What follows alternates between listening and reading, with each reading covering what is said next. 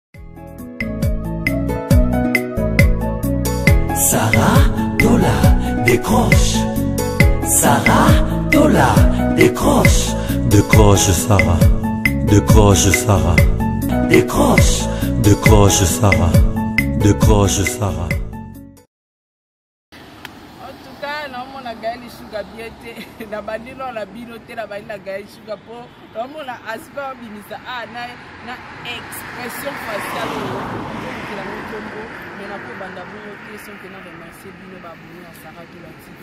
merci vraiment mpona confiance na bino oyo bopesaka ngai bowumbu na bino mosali na bino parce que chaîne oyo ya rande ya bino bino nde boya bapatron na ngai so bino botali ngai te moyen nazwa sans frère te Moi nazwa différente en tout cas un grand merci à tous mes fans bato tout bosabona na chaîne na nga et puis bolandaka nga en tout cas un grand merci na otika kodecevoir bino te et je dis un grand merci à héritier watanabe euh... l'homme le plus compliqué du monde hein? le seul ambassadeur qui nous reste et le seul leader et le seul chanteur un grand merci à toi un grand merci à la team wata mobimba Un grand merci à mon vieux Daddy Mola pour tes conseils. Balobi vieux ya ba petite sœur na ye, tu es toujours très proche de moi et de nous. En tout cas, euh, vieux Nanga, un grand merci à toi, un grand merci à Silence d'Or pour tout. Un grand merci à Amelia Mweba, un grand merci à Batitou Balinganga, Batitou Bolinganga, Pété Bondotala Anga. parce que so botali nga ekotela nga la un grand merci na bino un grand merci à tout le monde bafamille na ngai mobimba ma grande famille tola euh, na bato tu bafanatique tu ya la team wata parce que bino mpe mikolo babi boa nde na ntembe ntembe ya nde mpa na biso botalaka ngai epuis bosabonaka botiaka bageme bacommentaire na bino esalaka nga vraiment plaisir et aujourd'hui je vous reçois euh, gaël shuga la patron na mwana mboka autrement dit mi ange mi démon bomesana na yango a rembourser gael sugar bonjour bonjour sarah tola tola ya batola tola sken nde kaka ve dadi mola abengaka o donc tola sken po bino mobale bokendaka na baskenaka donc euh, je sais pas merci bonjour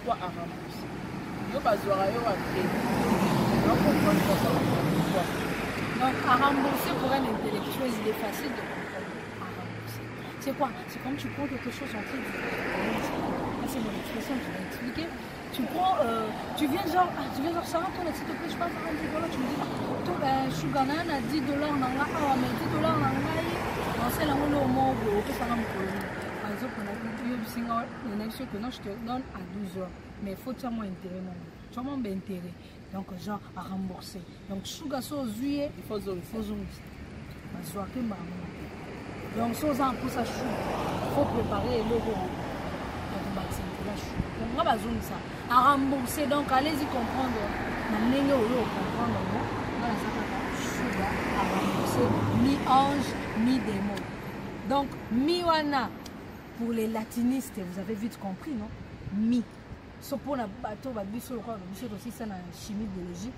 mi wana mpe tozongo na, na, na, na physique donc euh, micro micro boulone nano pico et tout tout tout tout le mi c'est le demi le demi demi ange demi demi donc je sugar euh, na profite déjà nayebisa na baabonné na biso ke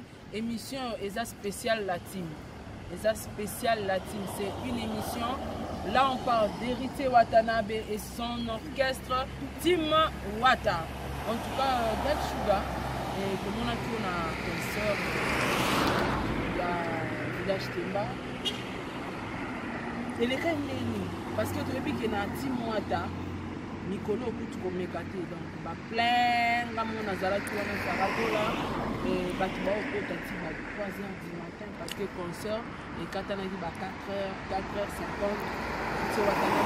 bajon eh, balese batikalaki elekaki ndenge nini sentiment na yo to euh, eloko nini ekamwisaki yo na concert wana eloko nini ekamusaki yo to sentiment na yo ezalaki nini na concert neti nga sentiment na ngai makasi ezalaki komona bato baokota se kokota ti 3 heures epuis concert na biso eyaki vei mpe etondaki avant même concert ebanda sentiment na ngai ezalaki yango wana epuis deuxième sentiment na ngai ezalaki komona héritier watanabe kobwakela biso retirada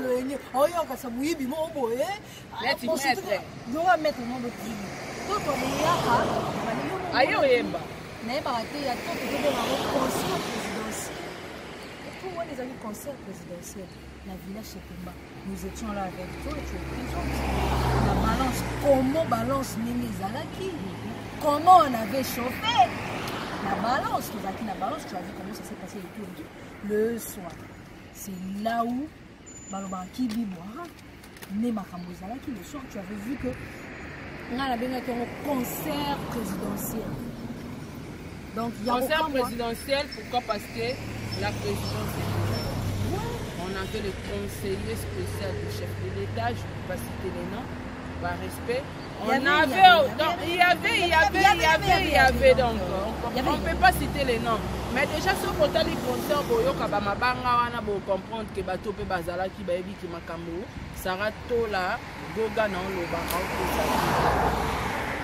Tim Wata, c'est un orchestre présidentiel quand nous là, nous sommes la presse présidentielle. Donc, euh, net nga mpe na mesa na nga okozali donc naye olobaka makambo eza ya solo donc euh, concert elekaki tellement bien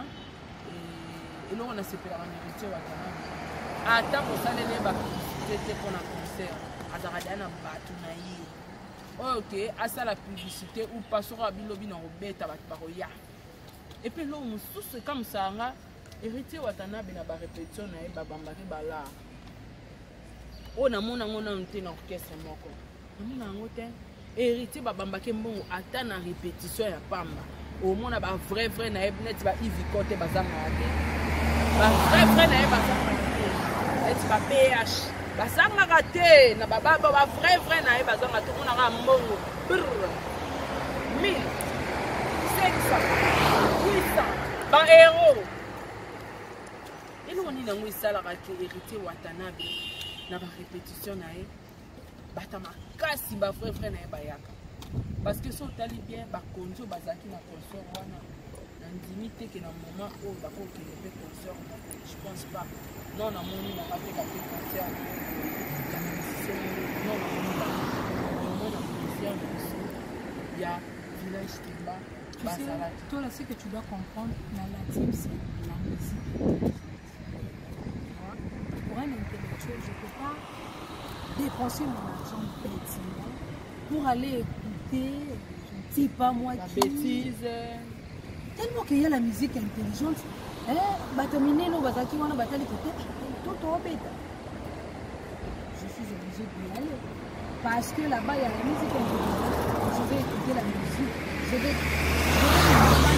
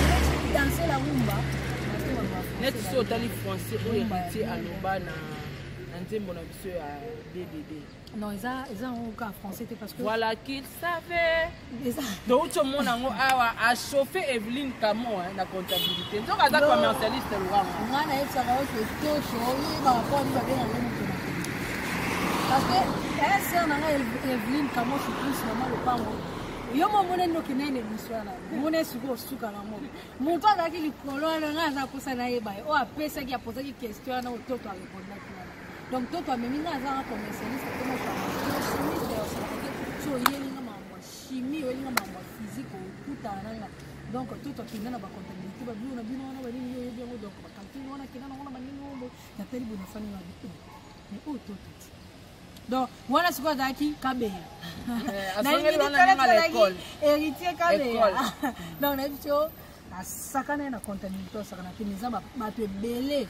bakoba lider ebele mais respect na fede lepate na bapapa chéri na baprésident williamson na baoyo mpe natangi nkombo te parce que balider ebele mayele mpe baza na bango mais lider na biso nde na minute ye nde mpo na minute mpo na zwi miko mpo na olobela lider nanga mpo ye nde aadonge oye nde awa mpena na émission ti mwa tata wana posa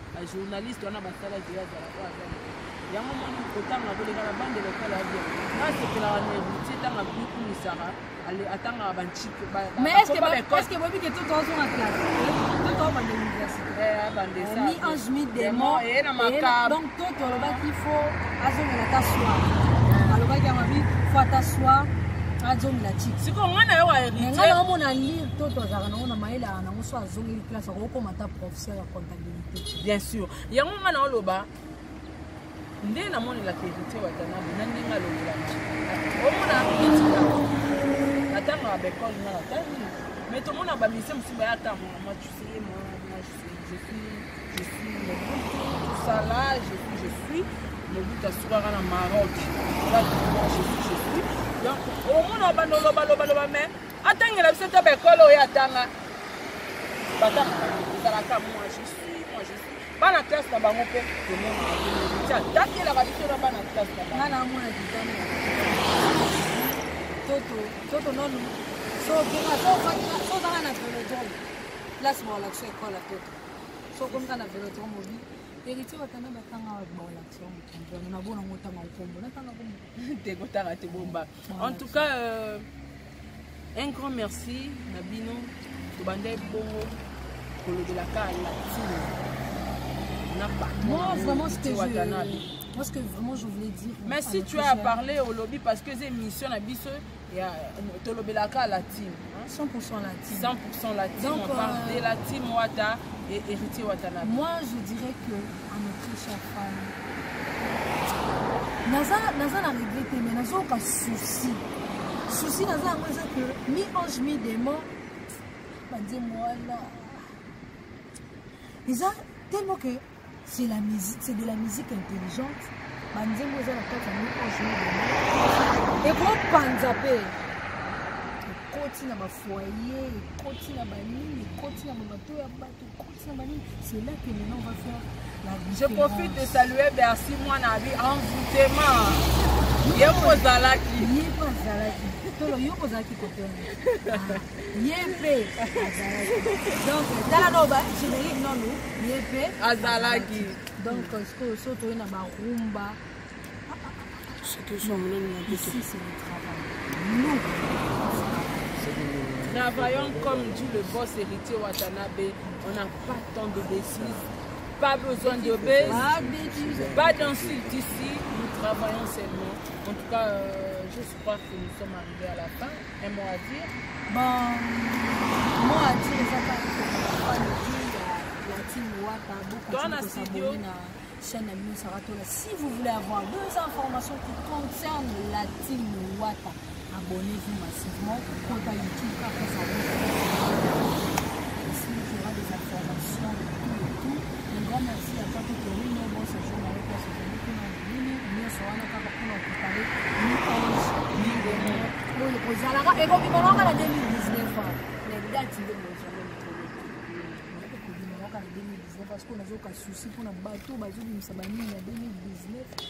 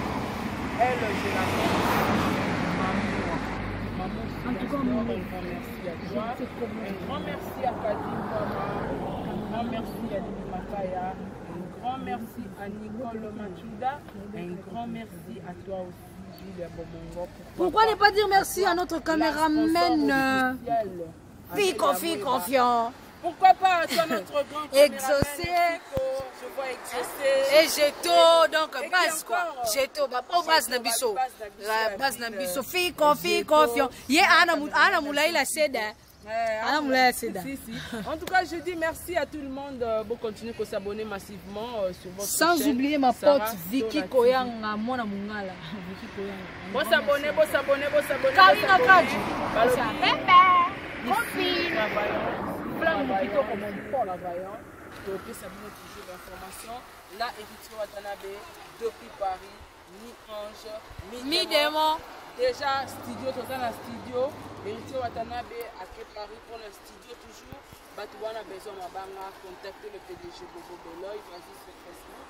okomi bobo beloy eyo kutule bobo beloy komela ye na facebook